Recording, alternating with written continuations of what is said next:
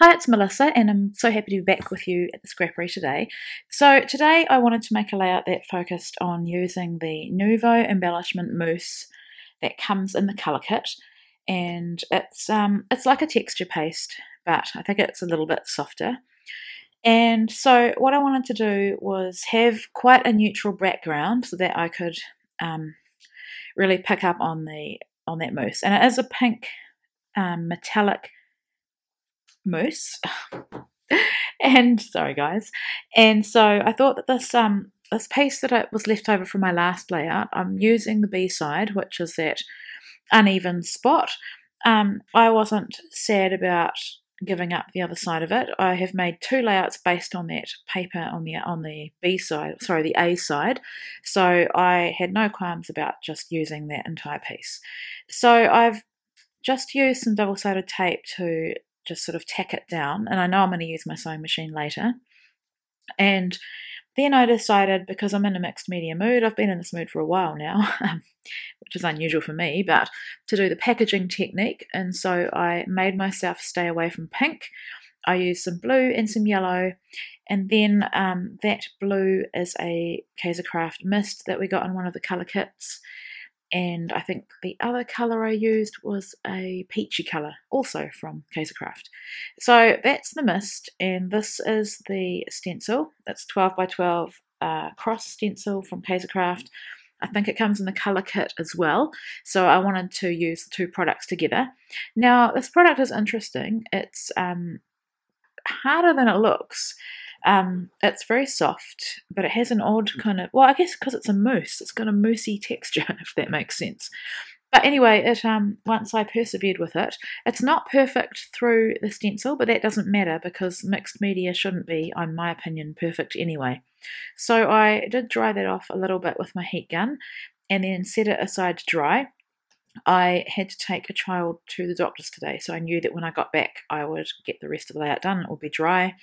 I did think about fussy cutting those flowers, but um, I don't know. I decided to leave them whole and then use them as a mat for my photo. I just loved all the colour, and you can't even tell that there are florals around the edge. Then I thought about the, using the B side, that beautiful wood grain, a grey wood grain, tried a few other pieces of paper, and then came back to the wood grain because I think everything else was either too bold or too bright. So I like the little um, little pop of, not really a pop, isn't it? Because you can't be neutral and popping, but I liked the neutral um, border that this provided. So just trimming it off. Um, and then I did think about using that beautiful circular paper. I even cut a rectangle that would fit. And then I remembered that we had vellum, and I thought I better use that vellum because we get a whole sheet of it.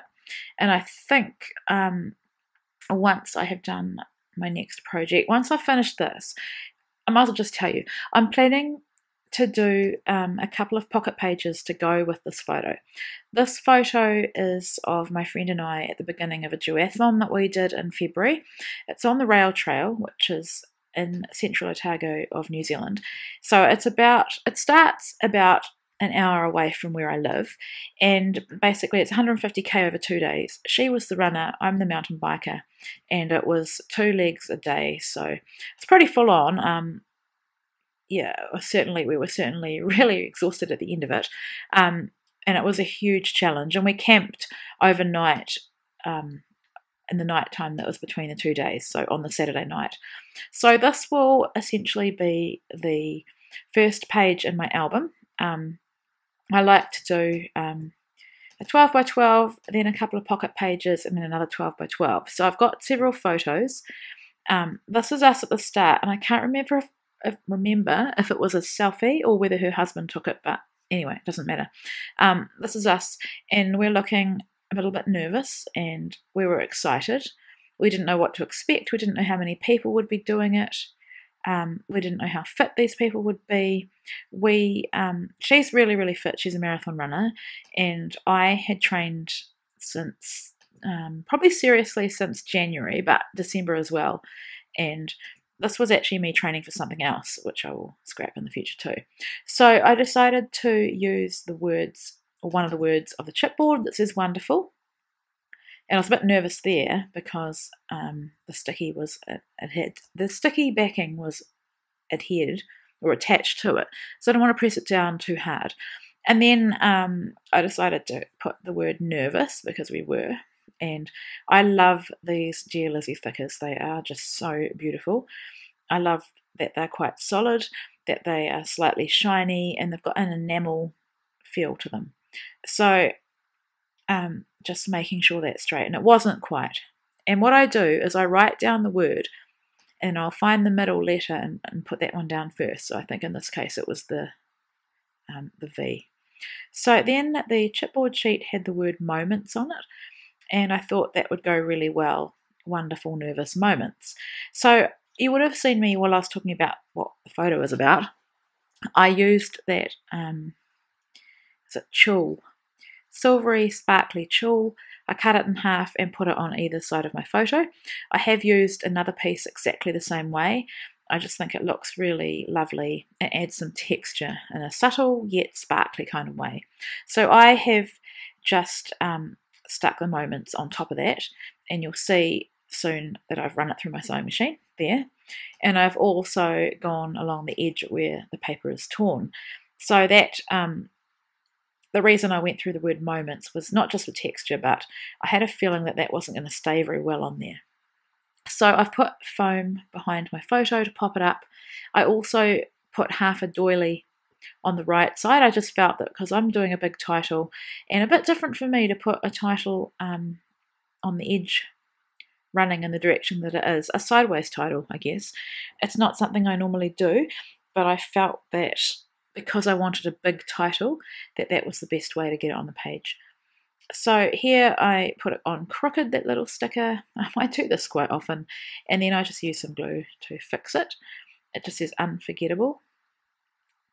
And now it's the embellishment time. So that little, um, what do you call that? Tag? Label. Label says wonderful. And I've stapled it as well. And then I found, I was just rummaging around in my little plastic container. These are bits and pieces I've used before on other layouts. And um, I just found that little label and I thought that would be perfect for the date.